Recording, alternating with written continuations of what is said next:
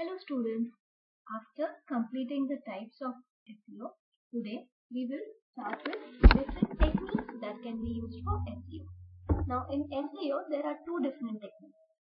The first one is white hat SEO. The technique white hat SEO are approved by search engine as good design.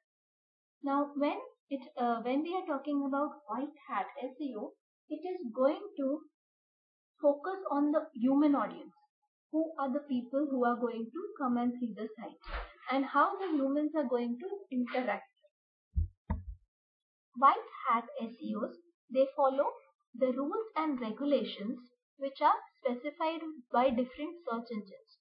Search engines, they give some policies, some rules. White hat SEOs, the techniques which are used, they are going to follow all these rules. It is also known as ethical SEO.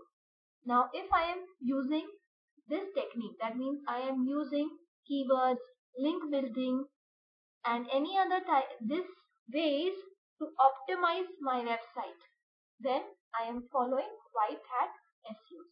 Now, different strategies which, which can be used are relevant content. So, if your topic is global warming, when you are writing the entire page related to global warming, you are providing relevant links, relevant information, well labeled images. The second important thing is you must have all the images are well labeled. When you are using white hat SEOs at that time, if the images are well labeled, it is going to help the search engine to rank higher. Next one, relevant links and references if you are putting any kind of links in your website or of your friends of people you know then see that the links are relevant and the references are also relevant. Okay so just don't put any random links in the page just for putting more links. It is not advisable. Next complete sentences with good spellings and grammar. So it is very important when you're writing the content of the website the sentences must be complete. All spelling and grammar should be correct. So the content should be written very well so that people can come to your website again and again. Uh, standard compliant HTML. That means it should follow all the HTML rules. It should use all the HTML that is being uh, decided. Unique and relevant web, web sorry unique and relevant page titles. Each and every page of the website must have a relevant title. Okay, so these are the simple strategies which can be used for white hat SEOs. The next type is black hat SEO. Now these techniques, they are not approved by the search engine. The techniques that are used by black hat are manipulative techniques. So there are some manipulative techniques which can be used for optimizing. These techniques they come in black hat SEOs. The black hat SEO is going to target on the search engine. So they are basically going to see how search engine is going to increase the ranking and they are going to use strategies related to that. Now we all know that if we use keywords then our website will rank higher. So what the person is going to do is it is going to put the keywords throughout the web page. Global warming is this, global warming is this, global warming is using that keyword so many times is called stuffing of keyword which is not at all advisable. So this is a wrong practice. Okay, the the black hat SEO techniques, they do not obey to the rules and regulations which are given by the search engines. Okay, and another very important thing, if the search engine comes to know that a website is using black hat SEOs, then they can ban those websites. So the websites which are using black hat are for a limited period of time the span of that website is very very less once the website is banned if you will even though if you are using the url then also the search engine will not return that website So black hat is not at all advisable.